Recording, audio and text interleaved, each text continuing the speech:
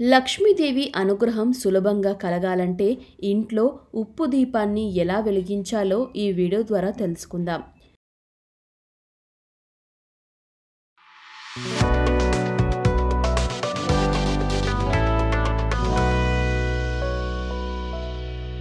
ఈ దీపాన్ని ఇంట్లో మాత్రమే కాదు ఉద్యోగ స్థానంలో వ్యాపార స్థలంలో ఎక్కడైనా సరే ఈ దీపాన్ని వెలిగించవచ్చు. ఆడవారు ఈ దీపాన్ని వెలిగించేటప్పుడు గాజులు తప్పకుండా ధరించాలి.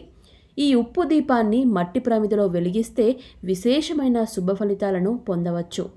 దీపం ఎలా వెలిగించాలంటే ఒక పెద్ద మట్టి ప్రమిద తీసుకుని పసుపు రాసి ఒక వెండి పల్లెంలో కానీ లేదా రాగి పల్లెంలో కానీ రాళ్ళ ఉప్పు వేసుకొని దానిపై ఈ మట్టి ప్రమిదను ఉంచాలి. అలాగే మరో రెండు చిన్న మట్టి ప్రమిదలను తీసుకొని వాటిలో పసుపు అక్షింతలు వేసి వాటిని పెద్ద ప్రమిదలో ఒక దానిపైన ఒకటి పెట్టాలి.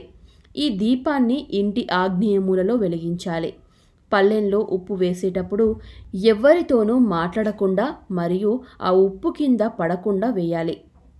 ఈ దీపాన్ని ఎప్పుడైనా ఏ రోజైనా వెలిగించవచ్చు. ప్రతిరోజు ఈ ఉప్పు దీపాన్ని వెలిగిస్తే లక్ష్మీ కటాక్షం సులభంగా కలుగుతుంది. తర్వాత నువ్వుల నూనెను పెద్ద ప్రమిదలో పోసి రెండు ఒత్తులను కలిపిన ఒక ఒత్తుగా చేసి దీపాన్ని వెలిగించాలి.